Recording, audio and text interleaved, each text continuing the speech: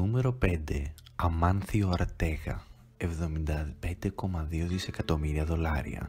Είναι ο πλουσιότερος άνθρωπος στην Ευρώπη, συνειδητρής της μητρικής εταιρείας των Zara Inditex που δημιουργήθηκε το 1975. Έχει ακίνητα στο Λονδίνο, Νέα Υόρκη, Μαδρίτη μεταξύ άλλων πόλεων. Νούμερο 4.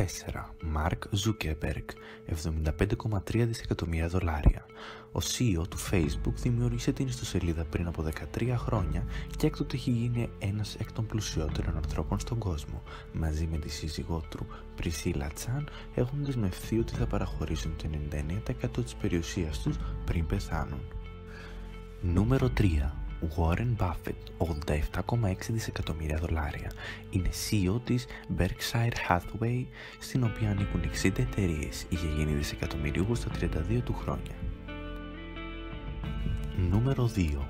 Bill Gates, 91,8 δισεκατομμύρια δολάρια, συνειδητής της Microsoft το 1975.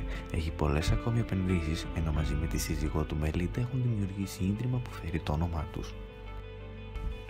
Νούμερο 1. Jeff Bezos, 104,1 δισεκατομμύρια δολάρια. Ιδρυτής και CEO της Amazon, του ανήκει σχεδόν το 17% της εταιρείας. Το 2013 αγόρισε του Washington Post για 250 εκατομμύρια δολάρια, ενώ του ανήκει και η εταιρεία αεροδραστηριομικής Pool Origin το 2017 έβγαλε 19,3 δισεκατομμύρια δολάρια.